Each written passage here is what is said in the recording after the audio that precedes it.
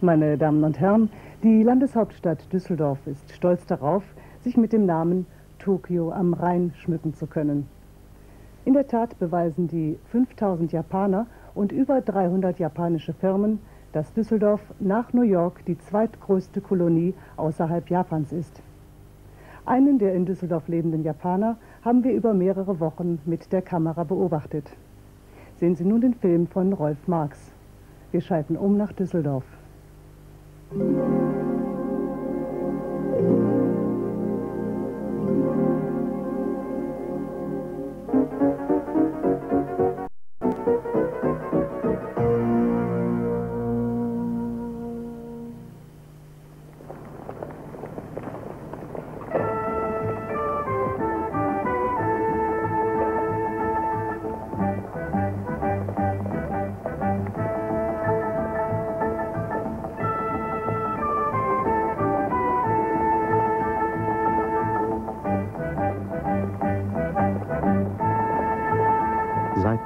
Jahrzehnten leben rheinische und japanische Düsseldorfer friedlich beisammen.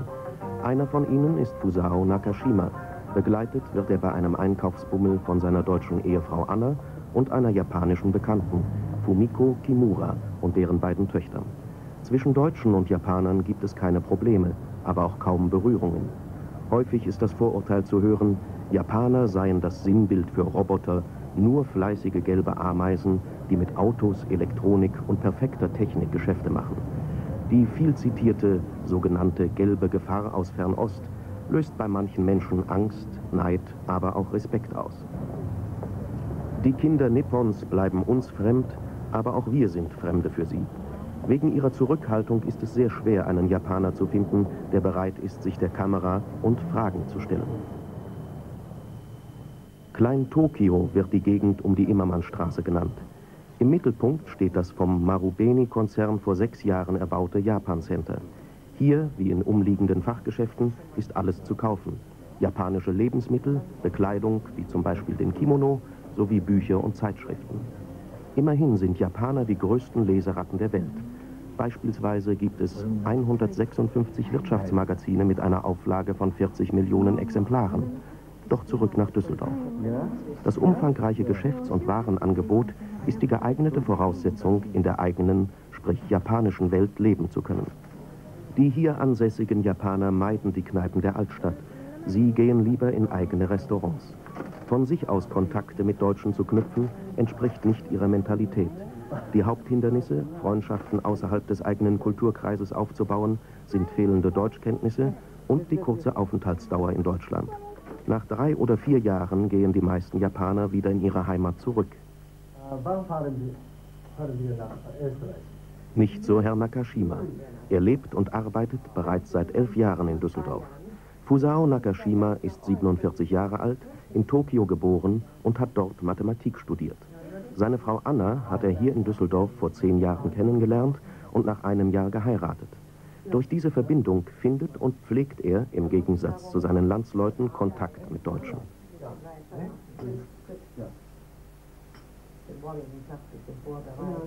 Herr Nakashima ist Mathematiklehrer an der japanischen Schule in Düsseldorf.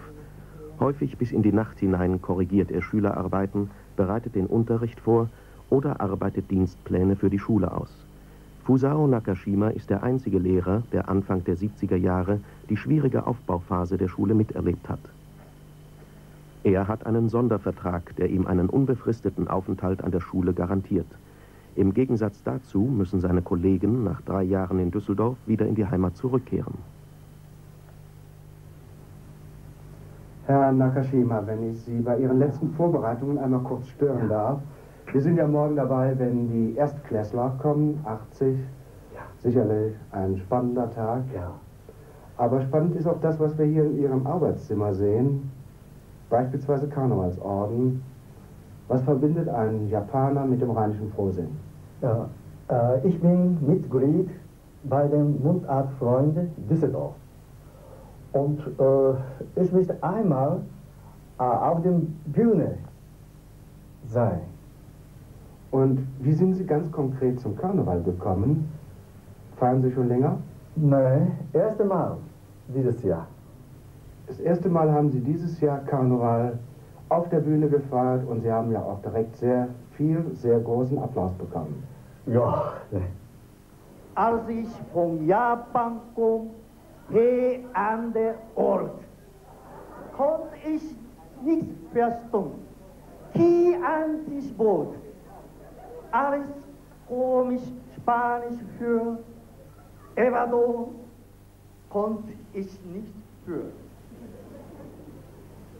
Selbst bei Essen und bei Trinken muss ich an mein Heimat denken.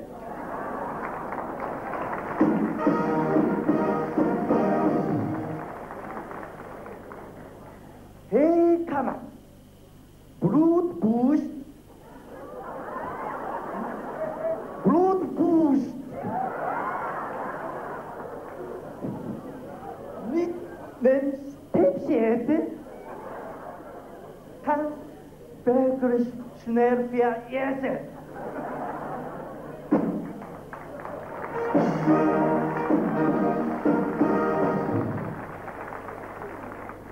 Doch, ich habe es schnell gelernt.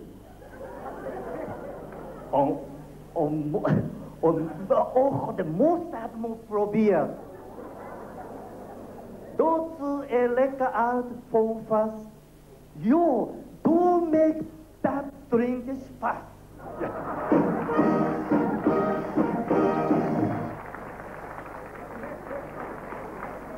Ich habe getroffen. Nur nette Leute. Drum stand ich hüt hier in der Bütte.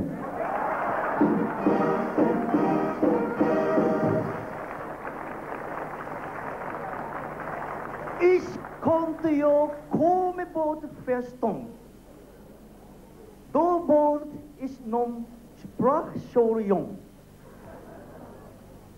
Nun Barrett English mit in der Stadt. Im dort zu reden, Düsseldorfer Blatt. Das könnt ihr mich glühen. Ich weiß das genau. Jetzt mag ich Schluss und ruf noch Düsseldorf Hille!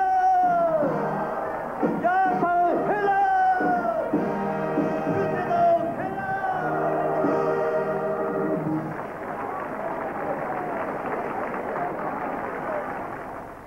Herr Nakashima, in der Tat großer Beifall. Wie haben Sie sich eigentlich gefühlt damals? ja, sehr schön. Und äh, ein bisschen nervös, aber trotz, trotzdem uns, uns schön. Und nächstes Jahr wieder? Ja, ich möchte noch einmal. Und wann fangen Sie mit den Vorbereitungen an? Äh, Anfang Juli. Und dann wieder in Mundart wieder eine rheinische Büttenrede. Ja, Wie empfinden Sie eigentlich den rheinischen Frohsinn, der ja sehr ausgelassen ist? oh, das ist schwierig. Äh, äh, alle Leute sind sehr nett und äh, auch schön. Gibt es sowas auch in Japan? Nein, gibt es kein. Nun, äh, dafür haben Sie in Japan etwas, was es bei uns nicht gibt. Ich sehe hier Puppen. Schenken die Ihnen Ihre Schulkinder? Kauft man die sich? Oder was hat das für einen Sinn, diese Puppen? Das ist alles, äh, zum Beispiel, das ist meine Schülerin selber gemacht. Und das ist von meiner Schwester. Wie lange arbeitet man an solch einer Puppe? Ich glaube, fast ein Jahr. Das wird alles in Handarbeit gemacht. Ja, alles Handarbeit gemacht.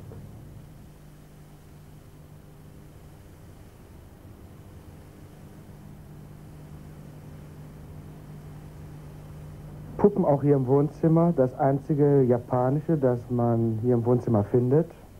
Erinnerungen an vergangene Reisen. auch an Reisen, Geschenke. Man schickt sie mir, man bringt sie mir mit. Oder Japaner, die zurückgehen, Kollegen meines Mannes, die sie dann mir hier lassen. Das sind alles sehr schöne Erinnerungen. Waren Sie schon in Japan? Vor neun Jahren war ich fünf Monate in Tokio. Und wie haben Sie Japan empfunden? Es Warum war- sind Sie nicht da geblieben? Da bleiben für einen Europäer erstens sehr schwer, um da zu leben. Und mein Mann wollte ja nach Düsseldorf zurück. Und so hat sich das ergeben, dass wir wieder hier sind. Aber Urlaub möchte ich gerne wieder in Japan machen. Akzeptieren äh, Japaner denn Europäer in Ich Japan? würde sagen, ja. Man war sehr- hilfsbereit, man war sehr bemüht, mich zu verstehen.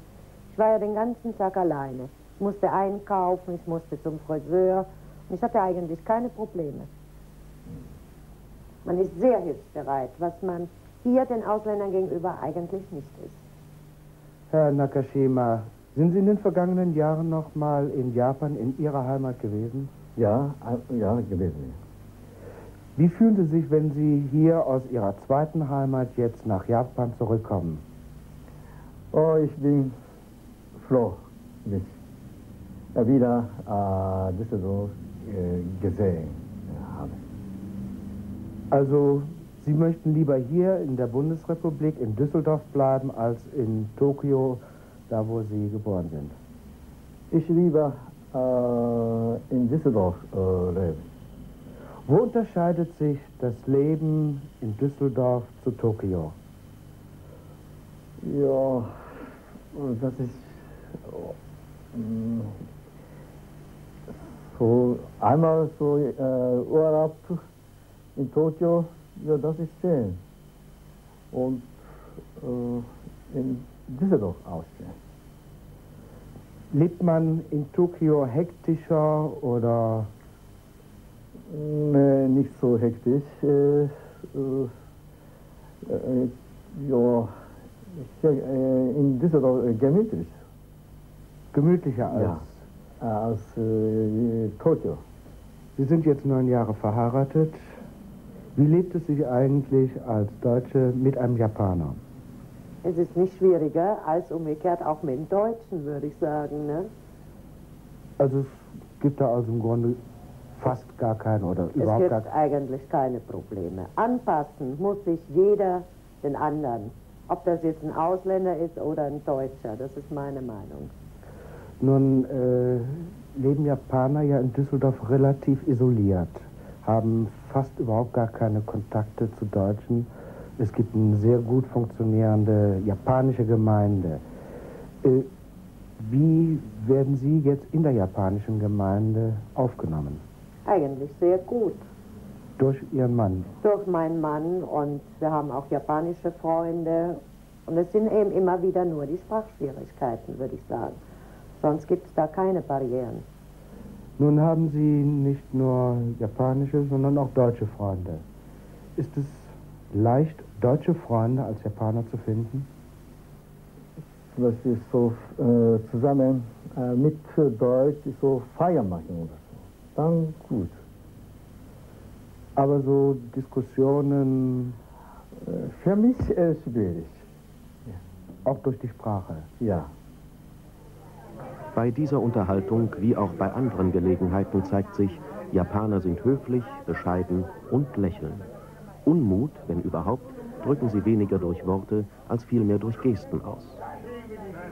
Doch trotz aller Zurückhaltung lässt sich Fusao Nakashima im Gegensatz zur überwältigenden Mehrheit seiner Landsleute feuchtfröhliche Bierseligkeit nicht entgehen. Zusammen mit seiner Frau geht er jeden Samstagmittag nach dem Einkaufen zum Stammtischgeplauder ins Eisstadion. Hier sucht er das Gespräch mit seinen deutschen Freunden, die ihn trotz aller sprachlichen Probleme schätzen und gerne mit ihm zusammen sind. Bedeuten Ihnen die deutschen Freunde Bekannten? Ja, ich möchte die Düsseldorfer und äh, Rheinländer kennenlernen und äh, verstehen. Also auch hier etwas die deutsche Sprache noch besser zu lernen. Ja, kann, kann man ja. Gibt es so eine Stammtischeinrichtung auch in Japan? Ja, oh. In Japan gibt, gibt es äh, nur abends einen Stamm, Lokale oder Stammtisch. Dann unterhält man sich auch so mit Freunden, Bekannten über Sport. Ja, natürlich, genau, äh, wir hier. Und trinkt. Ja, wir trinken Bier oder äh, Whisky oder Sake. Trinkt man in Japan mehr als hier, denn beim Stammtisch schluckt man ja mal auch ganz gerne ein. Ja, äh, ungefähr äh, hier ein bisschen mehr, ne, ich glaube. Ja. Ein Japaner an einem deutschen Stammtisch ist sicherlich eine Seltenheit. Hier jetzt die Frage an den Stammtischbruder, wie man den japanischen Freund aufnimmt. Da wissen Sie, uns hässlichen Deutschen wird immer eine gewisse Ausländerfeindlichkeit angedichtet. Und ich möchte dazu sagen, ein hässlicher Deutscher ist mir genauso zuwider wie ein hässlicher Ausländer. Aber Jetzt muss ich dazu sagen, die Japaner passen mentalitätsmäßig am besten zu uns Deutschen. Worin sehen Sie das? Punkto Disziplin, sie sind ruhig, im Temperament uns angeglichen. Und ich muss sagen, sie entwickeln einen Humor, der uns auch ähnlich ist. Wie kam es eigentlich dazu, dass äh, Herr Nakashima zu diesem Stammtisch stehst? Ja, also ich habe ihn kennengelernt vor zwölf Jahren. Da hat er sich gewundert, dass ein Mensch 40 Bier trinken kann. Und als dieses Lokal eröffnete, ist er zwangsläufig mit zu uns hier rübergegangen. Zumal er eine deutsche Frau hat. Und jetzt trinkt er 40 Bier auch? Ja, 35. 35 schafft er schon.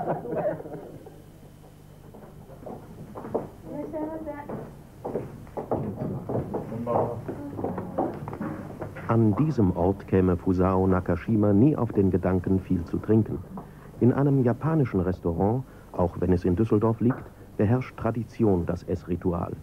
Strumpfgang, heiße Tücher zum Händereinigen und Stäbchen. Die Eheleute Nakashima haben Bekannte, die Eheleute Kimura, zum Essen eingeladen.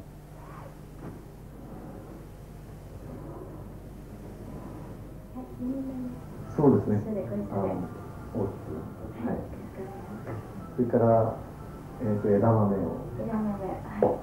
それから、あとは、やっこ。冷ややっこですね。はい。それから、僕は、あなたアメリカあ、私はアメリカどうぞ。 Ihr Gast Toshimitsu Kimura kommt gerade von einem mehrwöchigen Aufenthalt aus Japan zurück. Überall besonders, ne? Ja. Ja, und wie war denn das? Ja, auch. ne? Hier war auch besonders Wetter. Zu lange warm. Zu lange warm, Ja, ja. zu lange warm. plötzlich Jetzt- in Tokio das Gegenteil. Ja, ja, Schnee, ne? 27 Mal Schnee. Schneit. 27 Mal. Meistens nur drei oder Ja, dreimal. viermal. Ja, ja, Ja. so.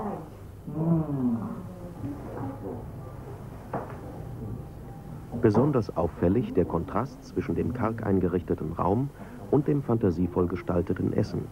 Bei japanischen Gerichten wird die Liebe zum Detail sichtbar. Normalerweise werden kleine Portionen in verschiedenen Schüsseln, Tellern und Schalen angerichtet. Die Farben des Tafelgeschirrs sind wichtig, noch wichtiger die Formen. Obst und Gemüse werden künstlerisch gestaltet, in Streifen, Spiralen oder Rosetten geschnitten. Die Ess- und Teezeremonie ist Ausdruck japanischer Zurückhaltung und vereint in sich Ästhetik, Poesie und Geschmack.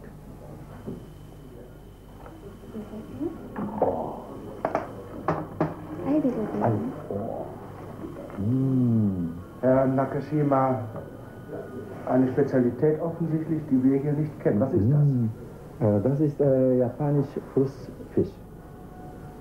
Und ist das jetzt ein eingeführter Fisch oder gibt es den hier auch? Ja, gar nichts. Nur in Japan. Und das ist eine Spezialität. Ganz, ja, speziell. Äh, Essen Sie eigentlich überwiegend deutsche Küche oder japanische Küche? Ja, mal äh, Deutsch, mal äh, Japanisch. Ich kenne so beides zu sein. Wie fühlen Sie sich denn, wenn Sie in einem japanischen Restaurant sind, wie diesem, wo Sie ja die gleiche Atmosphäre wie in der Heimat haben? Wie fühlen Sie sich dann? Ja, ja wie genau so in Japan so. Bekommen Sie dann kein Heimweh? Keine, gar nichts. Also Sie fühlen sich überall gleich wohl. Ja, ja. Frau Nakashima, Sie haben Deutsch kochen gelernt, inzwischen wohl auch Japanisch. Ja, allerdings. Wo liegt der große Unterschied? Japanisch wird das Gemüse und so weiter nur eben angedünstet, nicht so gar gekocht wie in Deutschland. Und sehr viel roh gegessen. Sehr viel roh gegessen, ja. Esse ich auch sehr gerne. Ist das eine Gewöhnungssache? Muss man Ich würde sagen, ja. Oder eben wirklich eine Vertrauenssache, dass man sagt, ich probiere es einfach. Ob es schmeckt, das kann man ja erst hinterher sagen. Jetzt sind Sie ja manchmal vom Gespräch im Grunde genommen ausgeschlossen. Äh, es wird Japanisch gesprochen. Sie können nur eine gebrochen Japanisch. Ja. Fühlt man sich ausgeschlossen? Eigentlich nicht. Ich weiß, um was es geht im Gespräch, wenn ich einige Worte verstehe. Unter anderem erklärt mir mein Mann das dann auch wieder, sodass ich eigentlich mich nicht ausgeschlossen fühle.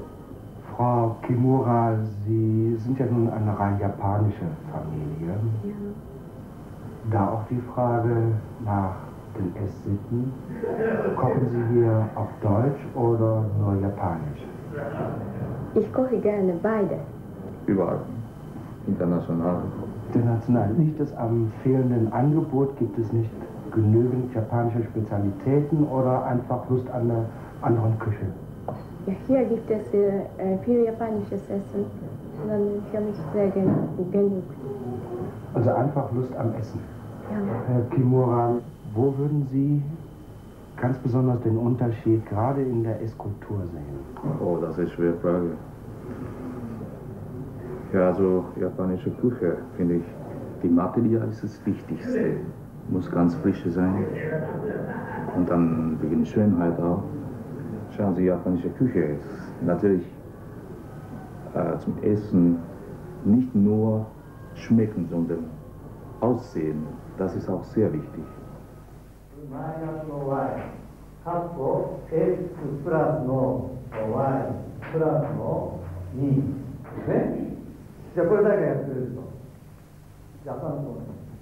Fernöstliches Eigenleben auch an der 1970 gegründeten japanischen Schule in Düsseldorf. Fusao Nakashima ist hier nicht mehr der ausgelassene, fröhliche Karnevalist oder der Plauderer beim geselligen Beisammensein. Nein, er ist ein strenger, aber auch liebevoller Erzieher. Im japanischen Schulsystem liegen unter anderem die Grundpfeiler des fernöstlichen Erfolges. So lernen die Kinder, dass soziales Verhalten nur dann Individualität zulässt, wenn in der Gruppe Harmonie herrscht. Bereits zu Beginn des 7. Jahrhunderts nach Christus hatte Prinz Taizai in der japanischen Verfassung festgelegt, die Harmonie ist hoch zu schätzen und der Verzicht auf Widerspruch ist ehrenwert.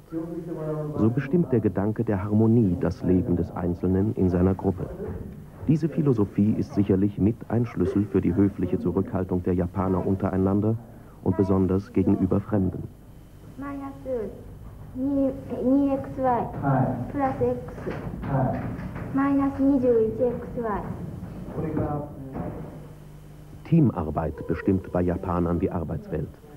So wie hier bei einer Schulkonferenz, in der gemeinsam die letzten Vorbereitungen für die Einschulung des neuen Jahrgangs getroffen werden, sind auch die Abläufe in der Wirtschaft.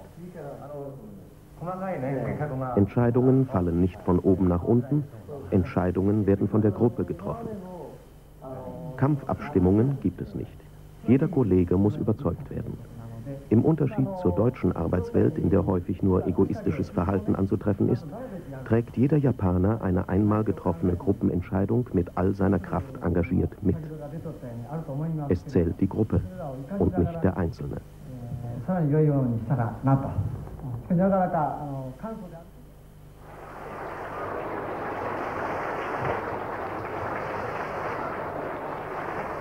Die Einschulung von etwa 80 Schulkindern. Dieses jährlich stattfindende Ereignis ist ein Garant für die japanische Macht am Rhein. Denn Tokioer Unternehmenszentralen wählen ihren Standort in Europa unter anderem auch danach aus, ob die Kinder ihrer Firmenrepräsentanten aus Fernost jederzeit nach der Rückkehr in die Heimat nahtlos Anschluss im Schulsystem finden.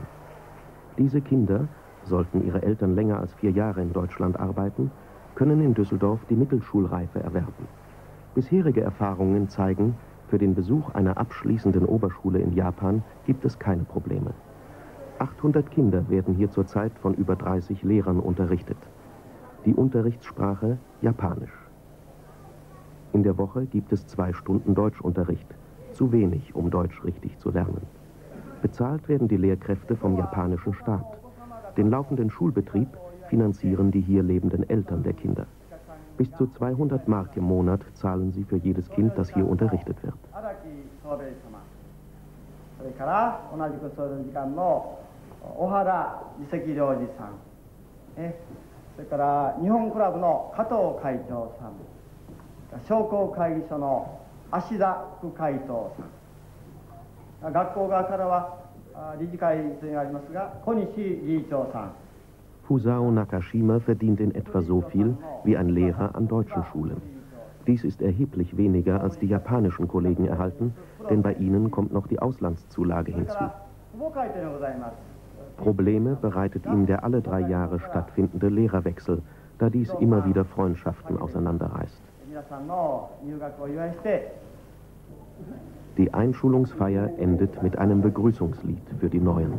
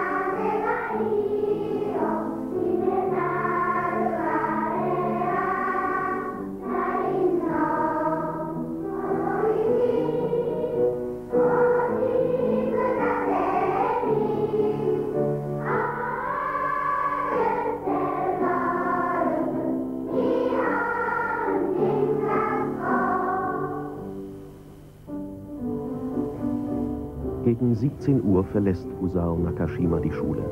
Nach der Einschulung hatte er noch bis 14 Uhr Unterricht. Doch damit endet nicht sein Schultag. Dienst in der japanischen Schule heißt Anwesenheit von 8 Uhr morgens bis 5 Uhr nachmittags. So wie in der japanischen Schule der Arbeitsrhythmus aus der fernen Heimat an den Rhein übernommen wird, übertragen auch die Japaner ihre Lebensgewohnheiten nach hier. Im Gegensatz zu seinen Landsleuten wird Fusao Nakashima, außer zum Urlaub, nicht mehr in seine Heimat zurückkehren, da er sich hier sehr wohl fühlt. Er sucht und findet Kontakt zu Deutschen, aber er pflegt auch seine Beziehungen zu Landsleuten. Trotz aller Anpassung an deutsche und Düsseldorfer Verhältnisse ist er von der Mentalität her Japaner geblieben. Hilfsbereit, höflich, zurückhaltend.